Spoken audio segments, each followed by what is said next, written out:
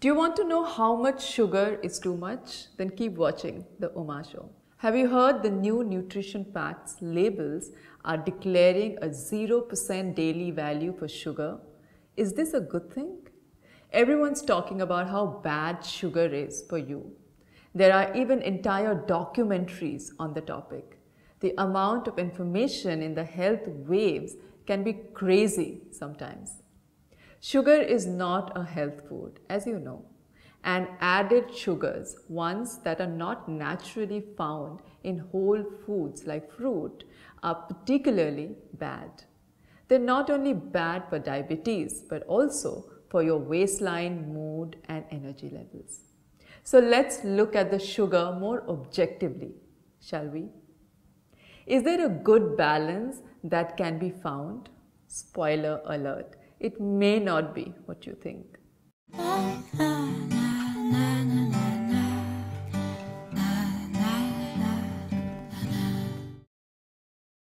It's official. Organizations and governments are finally declaring a maximum amount of daily sugar intake. While this is a step forward, there are still a few problems.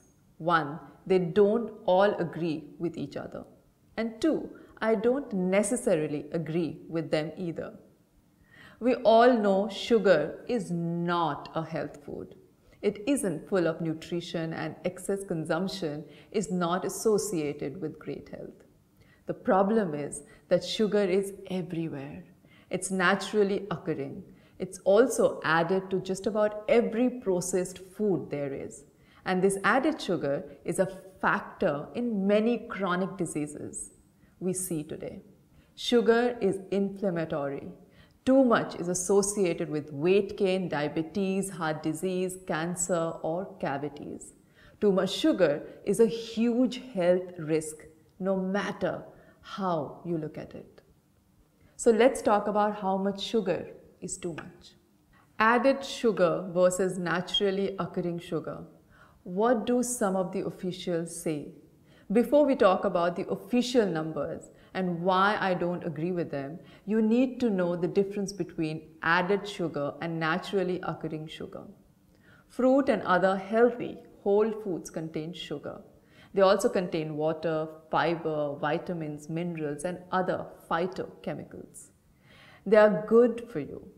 Eating fruits and vegetables is a well proven way to reduce your risk for many chronic diseases. Added sugars, on the other hand, are concerning. In 2013, the American Heart Association calculated that about 25,000 deaths per year were due to sweetened beverages. Added sugars are also in baked goods, candies, soups, sauces, and other processed foods. You can find sugar on the ingredient list as many names often ending in O's. I have done a video on this and you can watch that. These are glucose, fructose, sucrose, etc. and many other names. There are around 60 names for sugar. So total sugars, naturally occurring sugars plus added sugars. The official change is the new nutrition facts tables. You may remember that in Canada and the USA, they declare the amount of sugar, but don't give it a percent DV, that is daily value. This means they have never had a benchmark maximum daily value to use. They haven't declared how much is too much. Now both countries are implementing a percentage DV for sugar. In Canada, the percent DV is based on 100 grams per day of total sugar. Unfortunately, this number is large because it includes both naturally occurring and added sugars. The daily value percent is in line with the Canadian Heart and Stroke Foundation's recommendations and no more than 90 gram of total sugars per day. In 2008, the average daily total sugar intake in the USA was 76.7 grams per day. This is less than these two benchmarks. Yet, it doesn't seem that people are getting healthier. I'd argue that 100 gram per day total sugar is still too high. In the USA, the labels are changing too.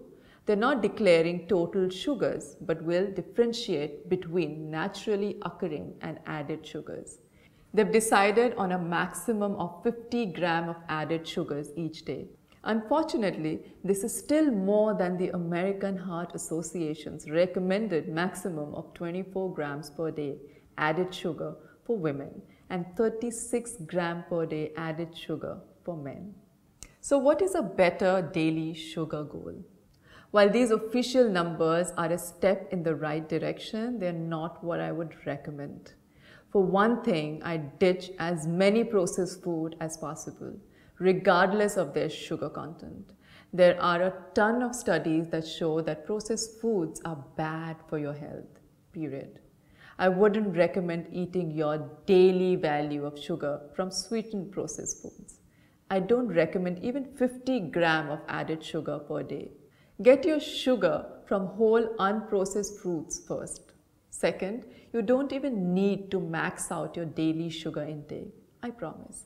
Try to reduce your sugar intake below these official amounts for an even better goal. Tips to reduce your sugar intake. Here are some of my most popular recommendations to reduce your sugar intake so you don't get too much.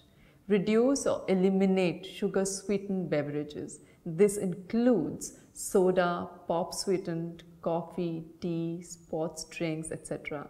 Instead, have fruit infused water or try drinking your coffee tea black or with a touch of cinnamon or vanilla instead.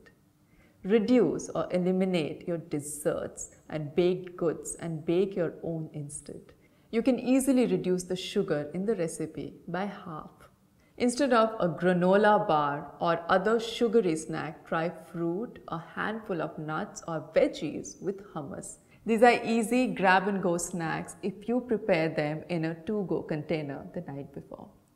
Let me know in the comments your favorite tip to reduce your sugar intake. Hope you like the video. Subscribe to my channel, comment on this video. I'm always waiting for your comment and share it with people you love.